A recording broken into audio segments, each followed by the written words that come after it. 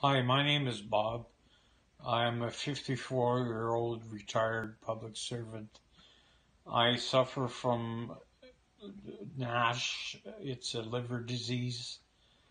Um, I've been waiting three years for a live donor. Uh, there's no prospects in in at this time. Um, I'm looking for somebody to donate part of their liver for me to continue my life because the one I have right now is is nothing.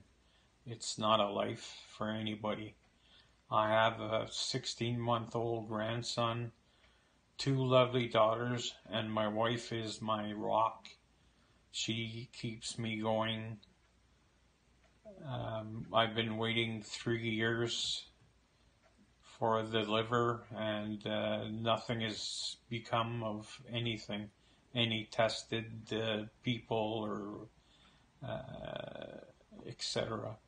Um, I, am truly uh, appealing to everybody to donate part of their liver to me so I can continue my life uh, better than I am right now. Again, because the life I live, I don't wish that on anybody.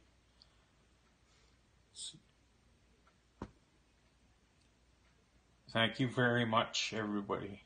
Thank you.